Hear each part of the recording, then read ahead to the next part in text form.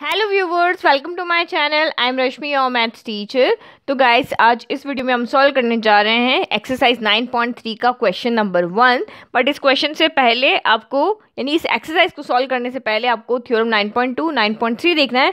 और एक example as a statement हम और यूज़ करेंगे। एग्ज़ाम्पल नंबर थ्री इसका स्टेटमेंट हम सॉल्यूशन में यूज़ करेंगे। तो इन तीन से दो थ्योरम और इस एग्ज़ाम्पल से आपकी एक्सरसाइज पूरी सॉल्व हो जाएगी।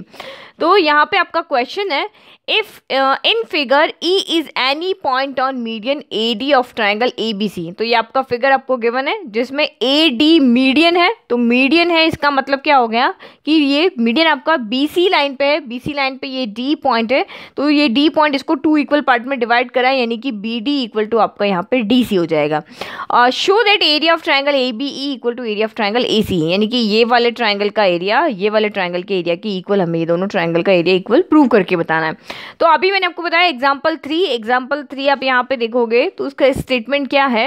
इसका स्टेटमेंट ये है कि अग, एक मीडियन जो होता है किसी भी ट्राइंगल का यानी कि ए बी सी ट्राइंगल का मीडियन है हमारा ए डी तो ये मीडियन है इस ट्राइंगल को टू इक्वल एरिया में क्या करेगा? डिवाइड करेगा। तो जहाँ पे आपने मीडियन ड्रॉ किया उसके लेफ़्ट साइड वाले ट्राइंगल का एरिया राइट साइड वाले ट्राइंगल के एरिया के इक्वल आएगा। मतलब यहाँ पे येलो वाला ट्राइंगल यानी ए बी डी ट्राइंगल का area A D C triangle यानी ग्रीन वाले ट्राइंगल के एरिया के इक्वल है। तो जहाँ भी आपका मीडियन है तो यहाँ आपका मीडियन कौन है? ए डी तो मीडियन आपका ये है तो ये वाला जो ट्राइंगल है, यानी ए बी डी ट्राइंगल का area A D C triangle के एरिया के इक्वल हो जाएगा। फिर उसके बाद हम यहाँ पे देखेंगे कि ई डी भी यहाँ पे मीडियन हो जाएगा, क्योंकि अगर ये पूरा मीडियन है तो ये स्मॉल भी आपका मीडियन ही होगा। तो इस वाले ट्राइंगल का एरिया इस वाले ट्राइंगल के एरिया के इक्वल हो जाएगा। फिर हम पूरे बड़े वाले ट्राइंगल में से ये स्मॉल स्मॉल वाला सब कर देंगे तो जो हमें प्रूव करना है, वही बचेगा। तो सबसे पहले हम यहाँ तक लिख लेते हैं कि ए डी मीडियन है तो ए बी डी ट्राइंगल का area A C D triangle के एरिया के इक्वल आएगा। पहले यहाँ तक मैं आपको राइट करके बता देती हूँ। तो गिवन राइट कर लिया। A B C is triangle with A D as median तो ए डी मीडियन है तो आपका बी डी इक्वल टू यहाँ पे क्या हो जाएगा? सी डी हो जाएगा। And E is any point on A D तो ये आपको बिल्कुल एज इट इज़ क्वेश्चन जैसे ही लिखना है। और टू प्रूव तो टू प्रूव भी आपको क्वेश्चन में गिवन है। A B equal to area of triangle A C हमें यहाँ प्रूव करना है। तो सब फ़र्स्ट जो मैंने आपको बताया, अगर हमारा ए डी मीडियन है तो उसके अकॉर्डिंग हम एग्ज़ाम्पल थ्री के स्टेटमेंट को यूज़ करके ये प्रूव यहाँ पे राइट कर सकते हैं कि in triangle A B C A D is median therefore area of triangle A B D equal to area of triangle आपका क्या हो जाएगा? यहाँ पे ए सी डी हो जाएगा।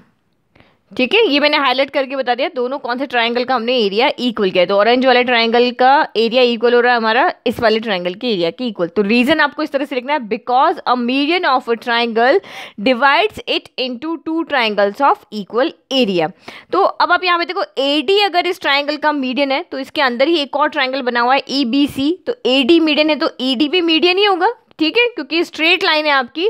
तो इस ट्राइंगल के अंदर ई डी मीडियन है तो इस ट्राइंगल का एरिया इस ट्राइंगल के एरिया के क्या हो जाएगा? इक्वल तो हम इसको भी राइट कर लेते हैं। तो हमने ये इस वाले ई बी डी ट्रा ई बी सी ट्राइंगल के लिए भी लिख दिया कि ई डी मीडियन है तो ये ग्रे वाले ट्राइंगल का एरिया इस ब्राउन वाले ट्राइंगल के या जो ऑरेंज वाले ट्राइंगल के एरिया के इक्वल है। तो in triangle E B C E D is median therefore area of triangle E B D equal to area of triangle E C D हो गया। Reason same a median of a triangle divides it into two triangles of equal area तो अभी आप यहाँ पे देख रहे हो, इस पूरे ट्राइंगल का एरिया इस पूरे ट्राइंगल के एरिया के इक्वल है, और ये वाले ट्राइंगल का एरिया ये वाले ट्राइंगल के एरिया के इक्वल है। तो अब जो ये बचा हुआ पोर्शन इन दोनों का एरिया भी आपस में इक्वल होगा।